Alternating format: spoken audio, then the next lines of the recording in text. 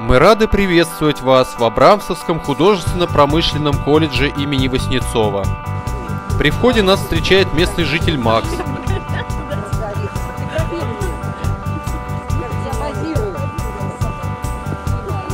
А что же она лаяла-то? История колледжа начинается с 1870 года с подмосковной усадьбы Абрамцева, принадлежавшей меценатам и ценителям русского искусства Мамонтовым.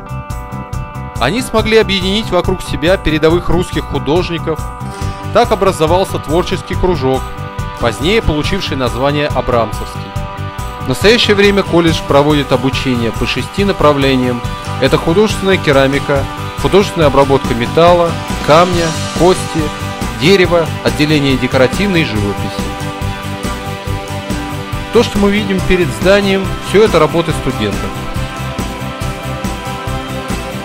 Не так давно на территории колледжа появилась новая инсталляция – металлическая фигура, называется «Летописец». Это дипломная работа выпускника отделения художественной обработки металла Александра Шабалина.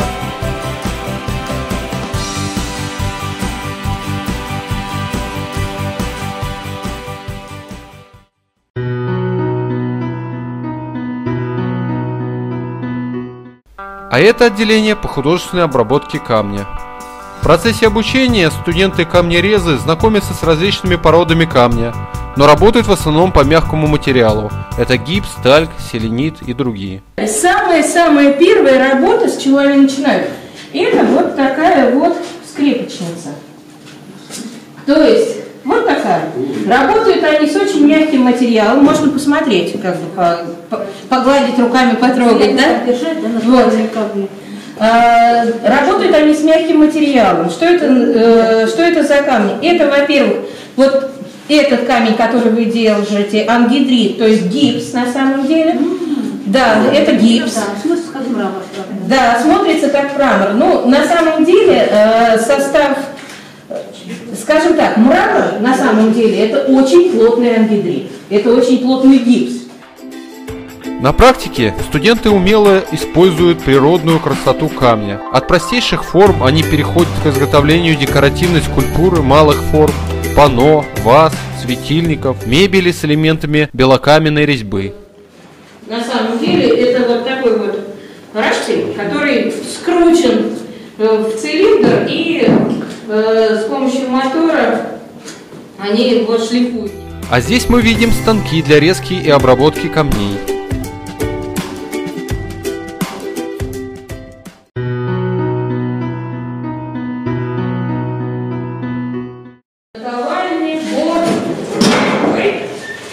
Да. И пока что кузница у нас работает не в качестве э, общей программы у, металла, а в качестве факультатива. Да, пока только для желающих. Вот. Здесь у них поддув.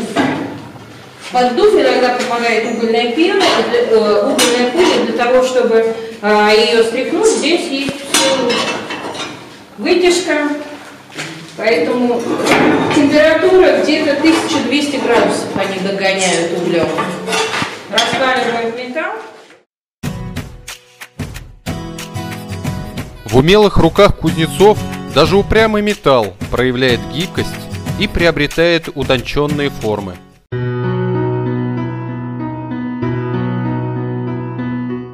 А, одна из мастерских э, именно резчиков по дереву, те, которые, от которых мы берем начало, скажем так, самое древнее наше отделение. А, работают они здесь, именно в, этом, э, в этой мастерской, вот таким вот инструментом, вот такими стамесками. Они абсолютно разные. А, есть для выемки более,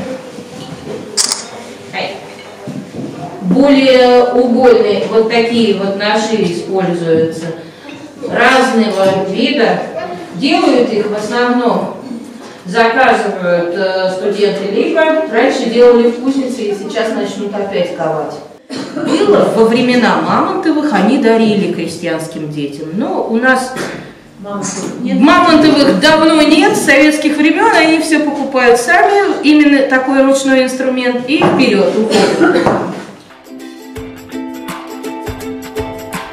Вот с помощью таких деревообрабатывающих инструментов из простой доски получается произведение искусства.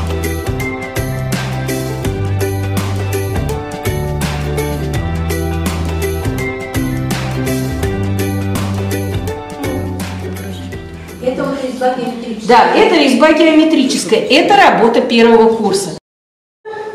Вот такие вот доски разделочные. Согласитесь, что такие разделочные доски – мечта любой домохозяйки.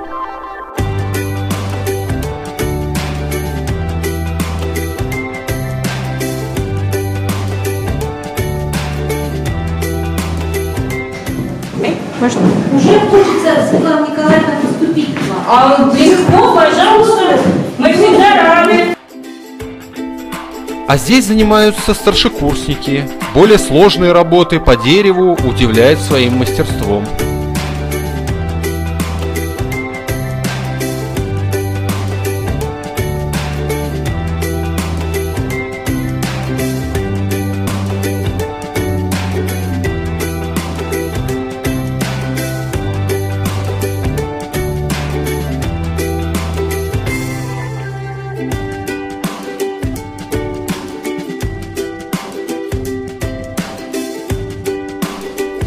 В этом цехе расположены деревообрабатывающие станки.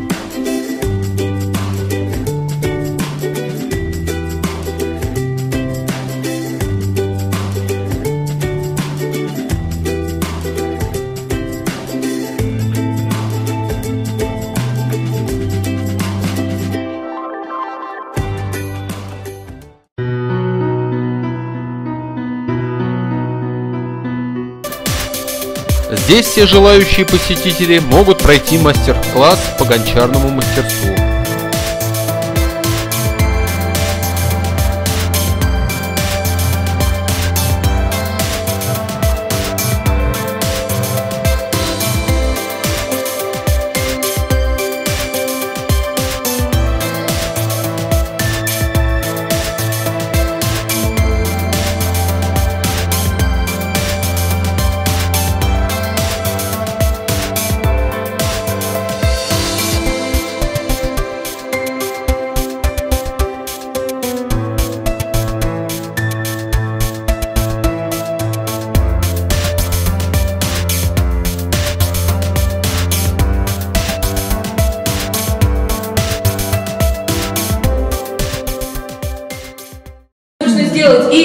Достаточно тонко, и достаточно толсто. Но смотрите, вот, например, да, работа раз и треснула уже.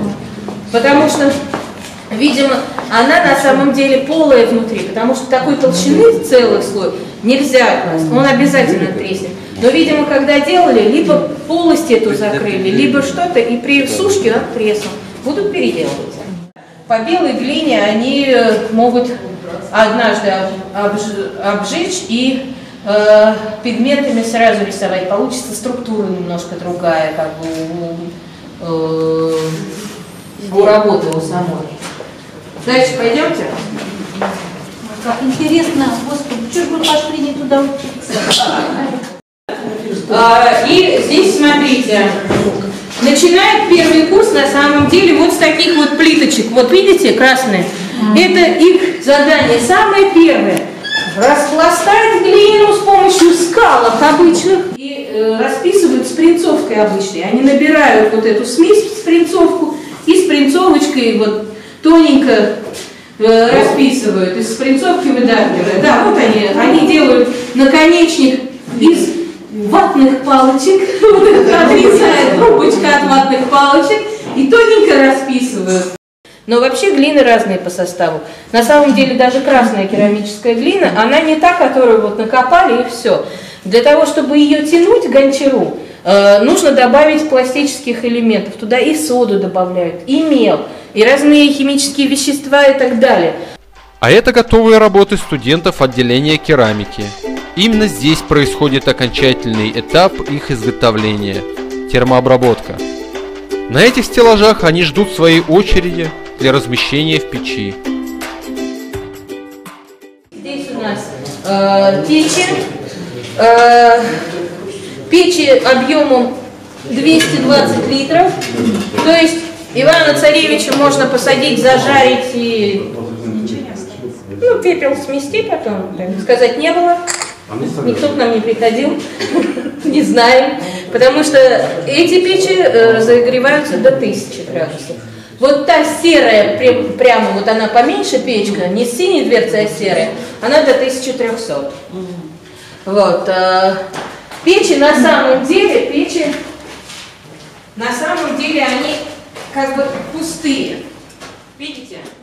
Не прилипает керамика, и который выдерживает температуру до полутора тысяч градусов. Здесь уже на готовые изделия наносят узоры и рисунки, после чего они повторно термообрабатываются. Только после этого поделки приобретают свой окончательный вид.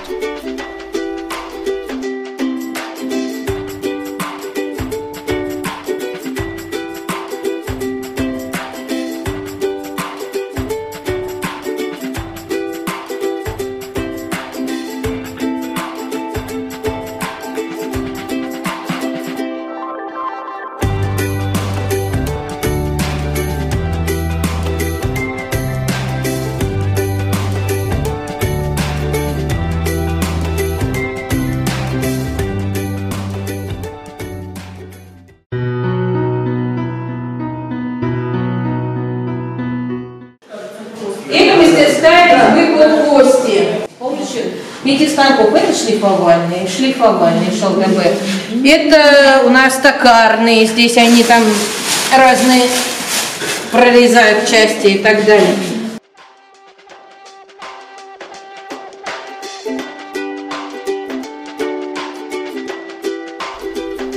Студенты отделения художественной обработки кости обучаются мастерству в традициях лучших косторезных промыслов России.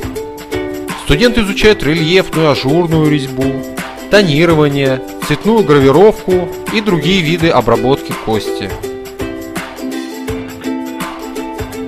В качестве материала используются кости коров, рога лосей и оленей, а также слоновые кости и кости мамонтов. А здесь вы видите настоящую кость мамонта, из которой потом получаются готовые изделия.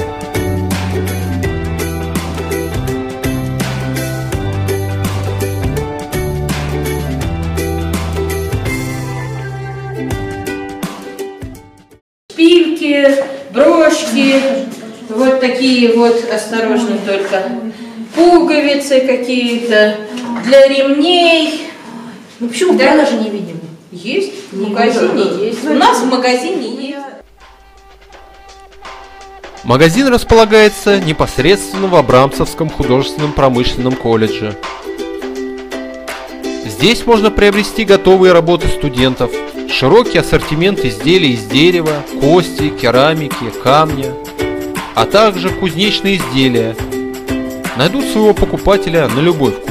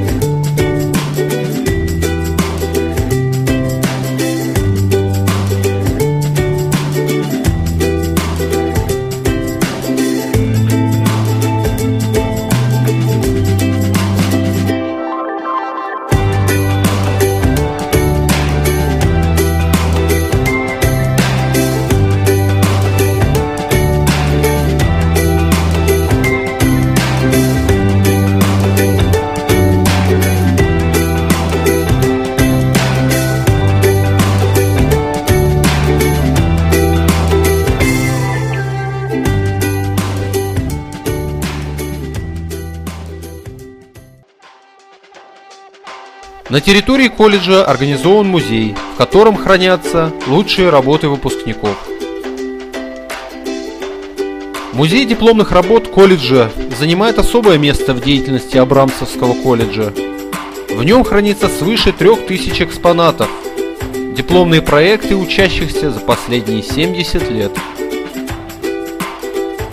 Дипломные работы часто служат наглядными пособиями для преподавания обязательных предметов – таких как композиция, исполнительское мастерство, технология и материаловедение.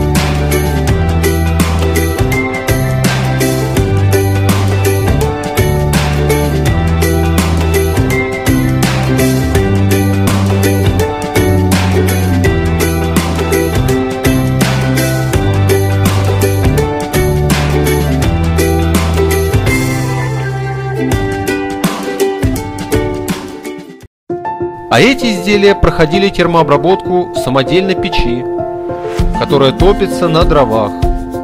Особенностью готового продукта является необычная окраска. Даже сам мастер до конца термообработки не знает, какие цвета приобретут его работы.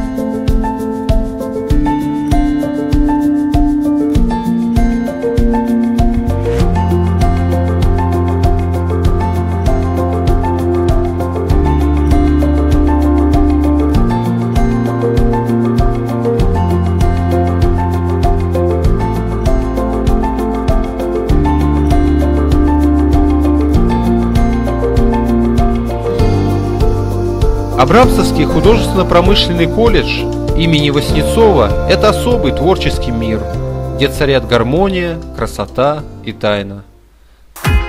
Спасибо за внимание. Впереди еще много интересного. До скорых встреч!